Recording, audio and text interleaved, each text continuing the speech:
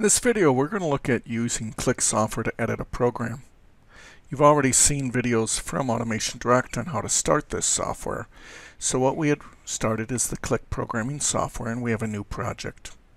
First, I want to kind of point out the windows. There's a couple windows. This window is the navigation, and it has a program tab.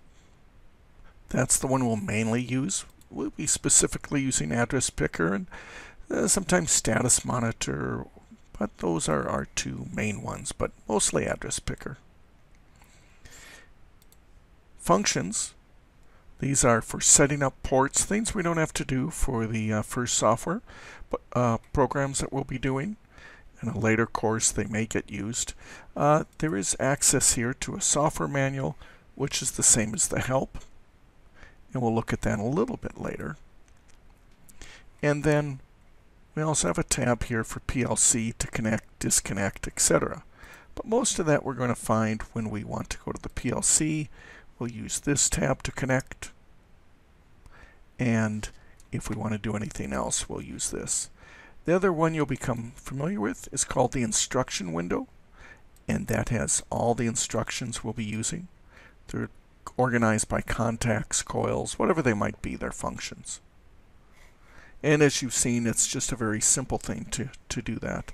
Now, those are the basic windows. One window that's not so obvious, as I'll show you in just a moment, we're going to create a program. Some of the shortcuts is I can just type right in here x1 and it will put that instruction there. And right over here I can do y1. Now I'm going to I'm not connected to a program right now, but I can still say I want to check it. And up will come this window that says, I have a warning. There's no end here. Now sometimes people in the lab will take this window and slide it down so that it's not really noticeable. And when we do the same download or check, we get an error but we don't know where to look. So it'll say there's an error, but we don't know where to go look for it. So there I'm going to add an end. So that's my program. It's ready to run. And if I was to connect to a PLC and download it. Right now, it's going to write it, it's going to connect it, and it says there's no warnings. I'm going to skip downloading it, as that's not going to change anything. We would have got the error. So now that we've created a program, I want to talk about a branch. A branch is on the same rung, these numbers 1, 2, 3. So to add a branch, there's this edit thing called line. And I don't prefer the line tool, I just simply use the shortcut, as it's a little faster, control er, arrow. So I'm holding down the control key, that reveals that blue line, and I tap down arrow once, and now I have a place to put in a new instruction.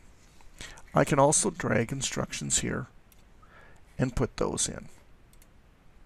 Then I can do control arrow to go back up. And now I've made my OR connection. So that's a useful feature. The other thing we can do sometimes is we want to add something to here. We might do something like this um, where we want to add something just to the right of here. I'm going to right click on the instruction. I'm going to add a column, insert column after cursor. And now I can say, well, this only works if this bit is false or true. In this case, I'm looking for it to be off. So that's how to make a double branch or increase something. Okay. Um, then we look at the next thing, how do we insert a rung? Well, you're kind of used to this, where I'm just going to create a new rung, and I'm going to say x1 is also, I'm going to just hit delete key there, and I'm going to say, well, this is going to go to an instruction we haven't seen, but I'm going to put counter 5 or counter 1 there, and I'm going to say it's going to count up to 5. And we see it made that. Okay. Um, so now we can see our new instruction. But looking at the screen I chose to record, I'm just going to delete that and I'm just going to use an output. And we'll say Y2. But now I decide for some reason I want to put a rung above here. I right click on the 2 and I can it's insert a rung before the cursor or after. I can add another row, etc. So whatever I want to do, I can do here. I also have edit rung comment, and these basically say, why is this here? It makes, let's say, the motor start. Usually information just to help the technician find their way, what's going, what's the purpose of it.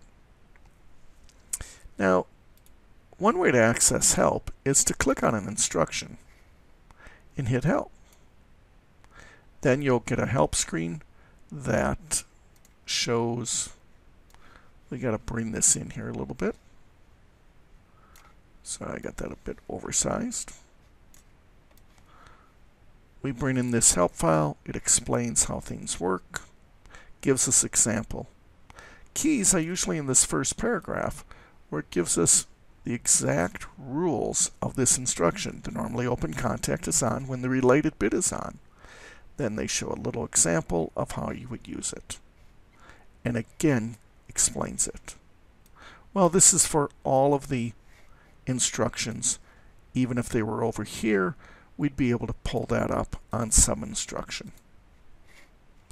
The other possibility you might use is under function you can find the whole software or hardware manual. Hardware manuals are printed out by the benches, software is there. So that's the basics of working with this software. Be sure to check back on this video to review. We learned about right-clicking, being able to insert or add a column. You can also do things like this. You can go copy, and you can go paste if you so desire. You can't copy from one click program to another, but within the program you can.